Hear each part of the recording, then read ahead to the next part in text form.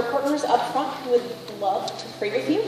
And then last but not least, if you are new, if you are a visitor, thank you so much for spending your Saturday evening with us. Would you fill out that Connect card that's right in front of you? Drop it off at the Info Center. We would love to connect with you.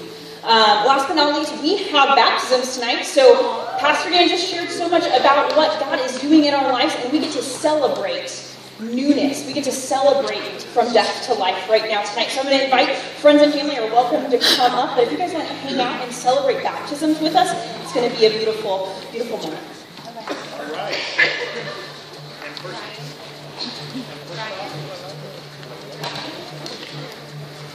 And first off, we have Ziva, and is seven years old. I accepted Christ on a sunny day when I was four. We were reading the Bible at home and read about Cain and Abel. I realized I was sinning, and my mom asked me if I wanted to pray and accept Jesus in my heart, and I said yes. I believe Jesus is the Son of God, and I believe He died on the cross for my sins and rose from the dead. I want to be baptized to show I am on God's team. My favorite Bible story is when God parted the Red Sea. God showed how powerful He is how protected his people are from the bad guys. I know God wants me to teach kids about Jesus and show how to follow Jesus too. You please move forward? Go ahead. Go, go ahead.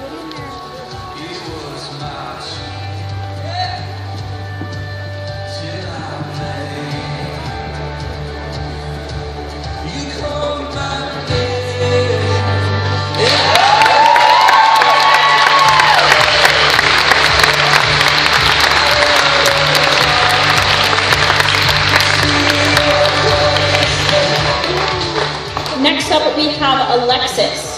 My life before Christ really wasn't too different. I accepted Christ when I was at church with my family and prayed to God. My life with Christ is better, and I feel like I have someone to talk to.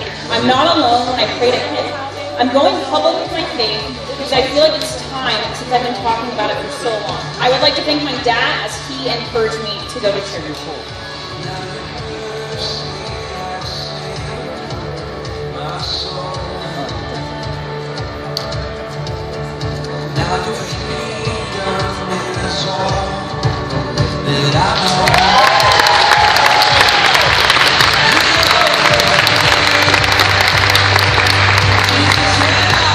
My name is Brian Flores. When I was six, my mom took us away from my dad, who was very abusive due to his addictions. After my mother had another child with a new man, I felt unwanted and acted out and ended up in detention. I later turned to the streets where I found a new family. I started living the glorified gangster life and using drugs. I got in trouble again at 15 I was sent to juvenile jail for over a year. I was released at 17, had a baby girl who was my world, but due to the drug problem, she's now not in my life. I felt all this guilt and failure as a man and a father. I spiraled out of control, shooting heroin and committing crimes. I've been in and out of prison ever since. I've been out of prison for a year now. And in April, I met my fiance, Deanna, and she used to sell heroin, and I was her client. She started going to church and is now sober. Her sobriety inspired me. I now belong to God who loves me, and now I'm born again. I've been sober now for a month and a half. This is the end of my old life. I now have a new beginning.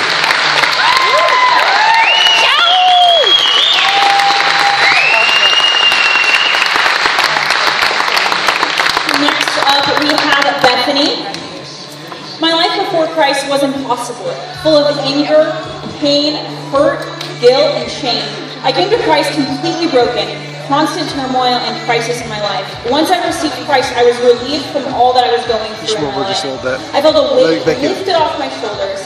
I can now breathe in a new way that I can't even put into words. I have decided to go public with my baptism because I am ready to walk the path that the Lord has made for me.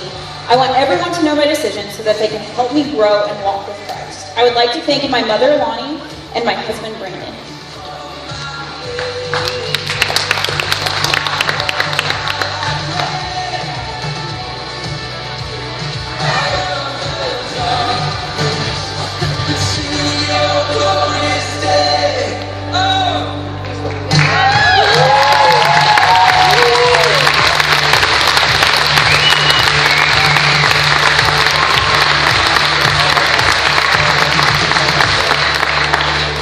Now we have Alexander.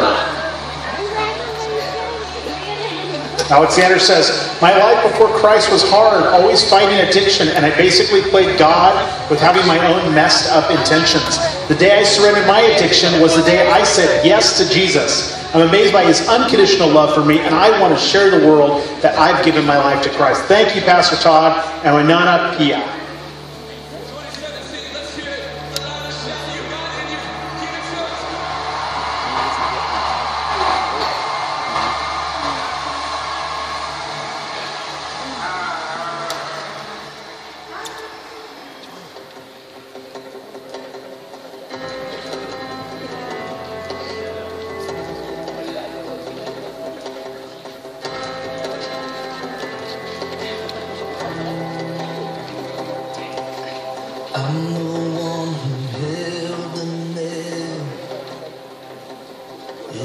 Was cold between my fingertips. I've hidden in the garden.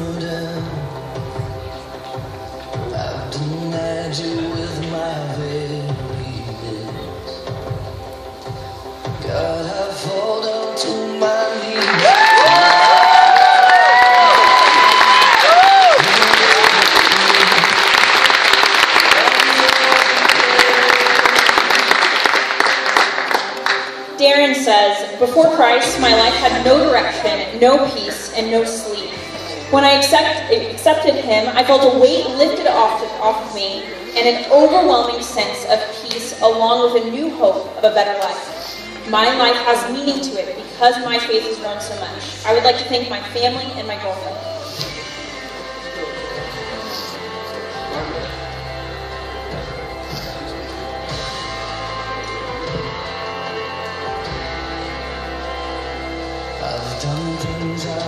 I hadn't done. I've seen things I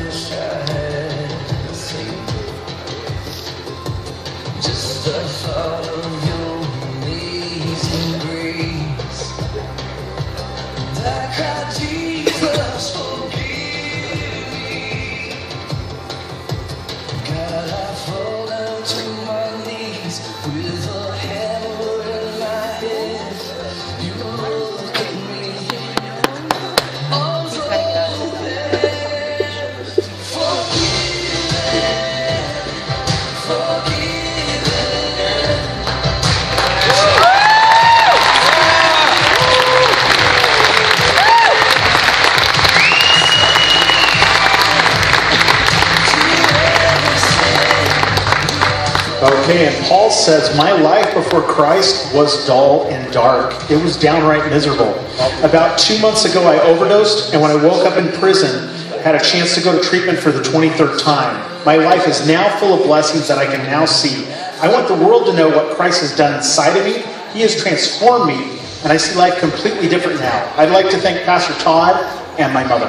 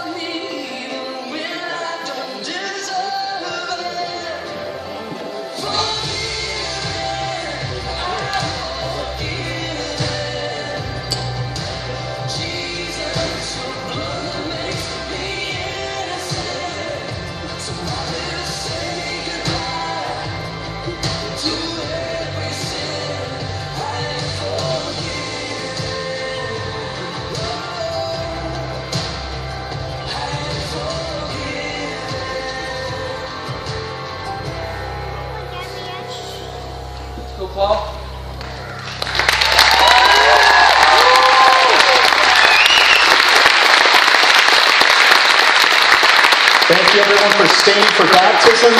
Heavenly Father, just we thank you for letting us be a part of the change in these people's lives. We ask you to give everyone a safe drive home tonight, and we'd see them here next week. In the name of Jesus, amen.